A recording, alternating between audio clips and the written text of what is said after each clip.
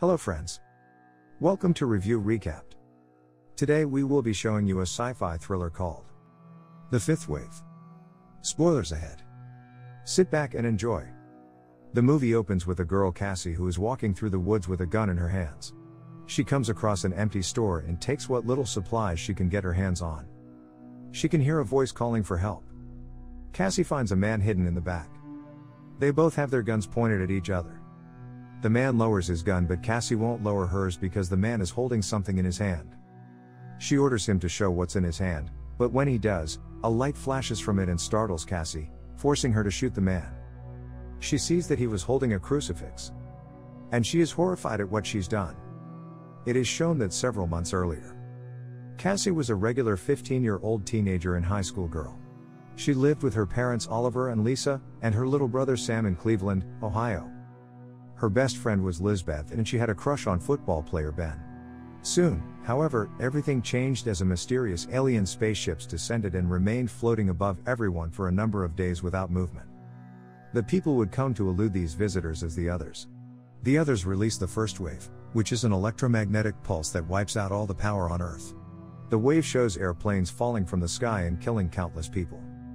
Without a fresh water supply, Cassie and Sam have to gather water from a nearby lake. The second wave brings powerful earthquakes and devastating tsunamis to coastal cities, killing even more people. The third wave has the others modifying the avian flu, which infects people like Lizbeth and even Lisa. Cassie, Sam, and Oliver bury Lisa in the front yard of their house and say goodbye to her. The three head to a survivors camp. After a few days of residing in the camp, a large cloud of dust forms, and from it emerge military men in vans, led by Colonel Vosh. He says he's there to help them. They gather all the children and send them on a bus to a safe location. Oliver reluctantly lets Cassie and Sam go. Sam forgets his teddy bear, so Cassie runs off the bus to grab it. The buses start driving away before Cassie can make it back. Vosh tells the adults that the fourth wave has begun. The others have begun to use humans as physical hosts, inciting anger and panic among the adults that demand to know how they can tell who is really another. A gunfight breaks out, and nearly every adult is killed, including Oliver. Cassie mourns her father and proceeds to move forward on her own. The kids arrive at Camp Haven, a military training facility. Ben and Sam are among those that are recruited.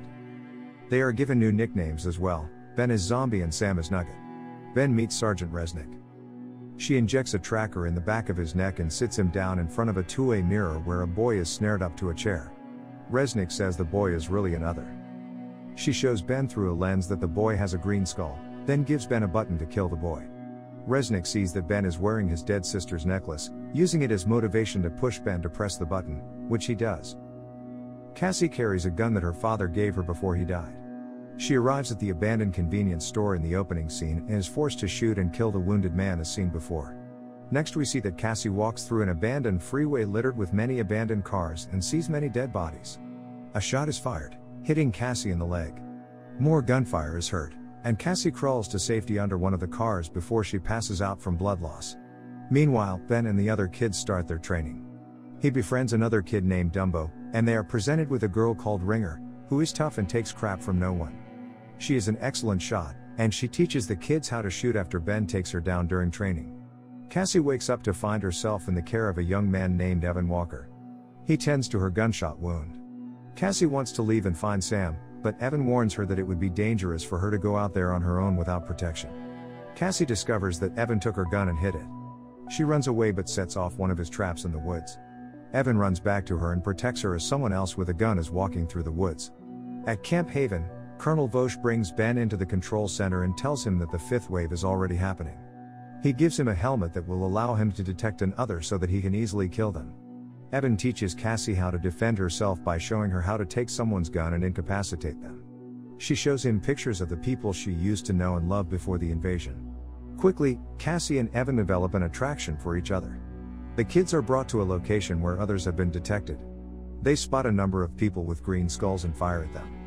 However, they then see Ringer through their lens and see a green skull. Before anyone can shoot her, Ben stops them. He is spotted with a green skull too. He quickly realizes that Vosh and Reznik lied to them, and that they are really others. The fifth wave is the kids themselves. Since they are easily manipulated, they are being used as pawns to slowly wipe out the rest of the humans. Cassie learns that Evan is not quite human after witnessing him kill someone in the woods. He claims that when the alien ship arrived, a switch went off in him. He says he saved her when she got shot from someone else in the distance. Evan claims that his love for Cassie is making him more human. She runs from him and is rescued by the military.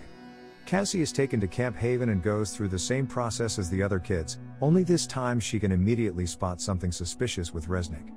The two of them fight until Cassie knocks Reznik out. Ben confronts Vosh about the truth, to which he confirms that he and the rest of the military personnel are others, and that they need the Earth for themselves.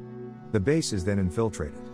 Cassie runs into Ben, and is then reunited with Sam. Evan shows up and kisses Cassie one last time before he goes to blow up the facility. The heroes run outside as the place is blown up. Ringer rescues them in a van, and they drive away, while Cassie watches as the place is destroyed, sad for Evan's sacrifice. But Colonel Vosh and the rest of the infected military and child cadets escape in a fleet of helicopters and fixed wing aircraft. In the end, we can see kids setting up their own camp, with some of the other kids like Dumbo joining them. Cassie closes the film by narrating that they haven't lost hope, and that hope is keeping them alive. Hope you enjoyed today's movie. Thanks for watching.